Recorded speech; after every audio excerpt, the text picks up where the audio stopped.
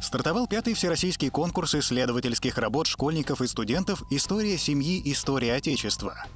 Для участия на первом этапе нужно предоставить письменную работу на определенную тему. Их ребятам предстоит сформулировать самостоятельно, исходя из приоритетных тематик конкурса и сюжетов семейной истории. В этом году в число приоритетных тематик входят семейная династия на службе Отечеству, уникальные страницы семейной летописи, важные исторические даты и события в истории моей семьи, вклад моей семьи в культурное наследие народов России и моя семья в истории трудовой славы родного края. На втором этапе конкурса участникам нужно будет представить видеоролик с презентацией своей работы. По итогам заданий выберут победителей.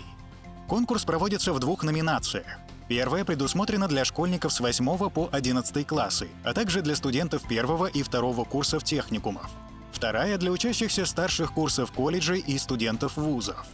Все ребята получат электронные сертификаты об участии в конкурсе.